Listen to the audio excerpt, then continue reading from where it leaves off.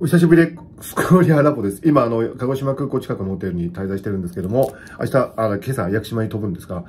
えー、デイリー牛乳、えー、コーリアラボ、久しぶりでございますが、えー、これはですね、えー、南日本酪農共同株式会社、都城工場、本当にこの近くで、えー、作られてるんですけども、えー、都城市高木町5282番地にあるデイリー牛乳、えー、無視入庫成分8.3%以上、乳脂肪分3.5%以上、えー、ということで、この、えー、このですね、見てください、この、この、もう、で、えっ、ー、と、今だから牛乳って、ちょっといただきますね。なんかあの、こういうものってね、その、もちろんあの、製造プロセスとかそういう加工技術ってのはもう、日本はもう世界でも素晴らしいと思うんですけど、やっぱりですね、この成分無調整っていいですね。こういうなんか、えー、その土地土地、土地土地の風土とか土地、草ね、牛さんが食べてる草とかそういうものが変わるんで、やっぱりそこは人間コントロールできないんで、それがそのクオリアとして変わってくるんだと思うんですけど、じゃあデイリー牛乳いただきますよ。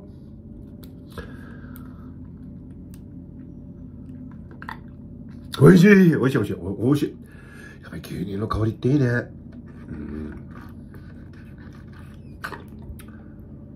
美味しい。僕何年か前にあの、サントリーの方とお話して、そのワインのね、取材をさせていただいたときに、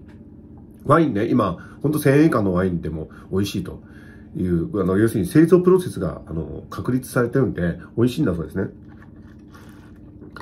ただ最後の最後に味の違いが出ちゃうのは、やっぱりその土地土地の本当に、えー、土とか、いろんなものも、まあ、それが、まあ、ブドウに影響を与えて、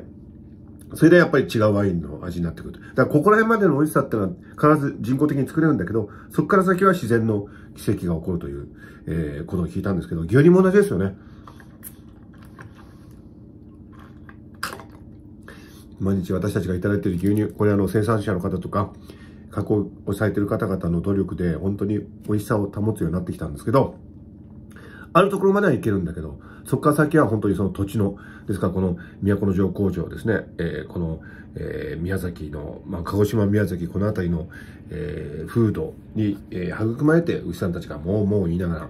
えー、牛乳を出してくれてるんだなと、本当にこの自然の恵みをいただいてる、えー、とてもとても美味しい、えー、デイリー牛乳。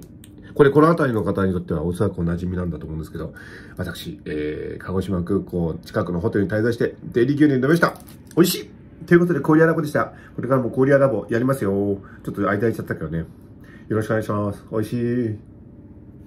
しー。